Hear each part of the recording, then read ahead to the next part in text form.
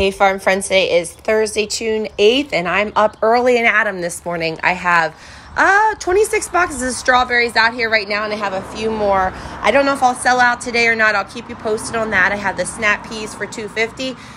I restocked the zucchini, the yellow zucchini. I have some um, snapdragons. Hooray! They look so beautiful. Um, so I have a few flower vases there. They vary in price 10, 6, and 4. And then I loaded up on these sweet cherries and oh, these are so addicting. I keep eating them and eating them. They are delicious. They're going to be 4.75 for a nice full pint box. And then I do have um, rhubarb in here if you want to do a strawberry rhubarb crisp or pie. Um, just one more bunch of onions. I will get more on Sunday from my friend. And then I have some garlic scapes. I will be open this um, Saturday. I will be sitting out here in case you need to make change. You folks have a great day.